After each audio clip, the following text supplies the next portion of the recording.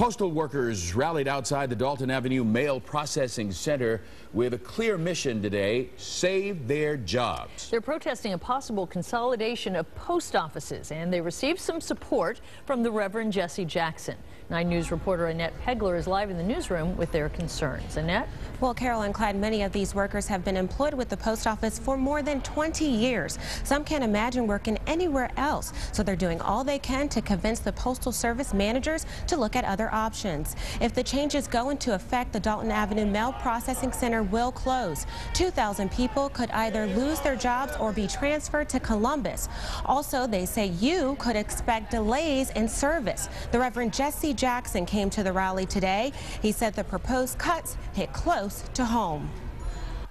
I'm particularly sensitive to postal workers. My father was a postal worker. Your dad's a postal worker. I ate at the table postal worker. This is family. It's time that the American people and the workers stand up and say enough is enough. That there are things about tradition in this country, and we're starting to lose a lot of that. And the Postal Service is one, one place that we don't need to lose. Now, Postal Service managers are holding a public meeting on November 29th to discuss reasons for the changes and the impact. The meeting is at 7 p.m. at the Northern Kentucky Convention Center, and of course, anyone is welcome. Clyde, we're back to you. All right, Annette, thanks.